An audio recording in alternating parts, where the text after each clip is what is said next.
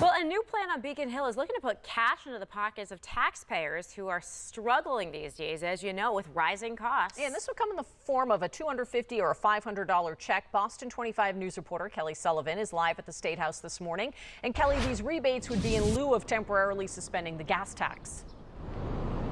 Yeah, that's right. So state lawmakers have finally come to an agreement on how to help out taxpayers. So instead of suspending the state's 24 cent gas tax temporarily, they are going to uh, send checks to people who really need it the most. Now, as part of uh, the $510 million relief package uh, that's estimated about uh, going to help 2 million people, $250 will be sent to taxpayers who file individually and made no more than $100,000 last year.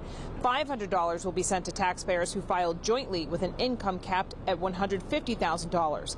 A person must have made at least $38,000 last year to be eligible, and the rebates will be issued based on their 2021 income tax return.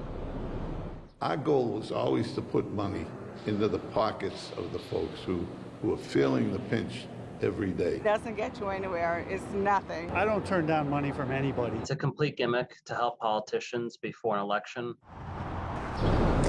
Now, the Massachusetts Fiscal Alliance believes these one time payments won't do much and instead wanted to see a broader tax relief like temporarily suspending the gas tax. The state currently has a surplus of $3.6 billion. So the House and the Senate, they are working to get this relief package onto the governor's desk and signed by the end of the month because that would allow for these checks to be in the mail and in the mailboxes of taxpayers by September. Reporting live from the State House, Kelly Sullivan, Boston 25 News.